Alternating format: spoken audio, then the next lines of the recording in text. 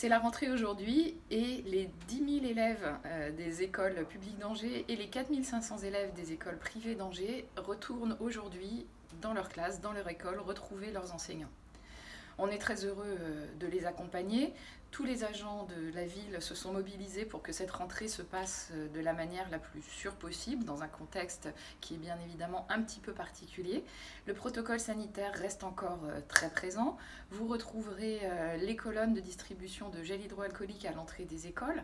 Nous avons laissé à disposition des enseignants et de tous les personnels qui interviennent auprès de vos enfants les kits de désinfection dans les classes.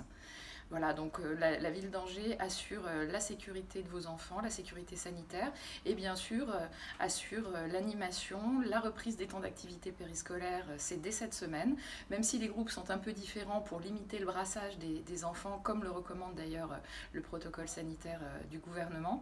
Nous nous assurons qu'ils reprennent la vie à l'école comme c'était le cas avant le mois de mars dernier.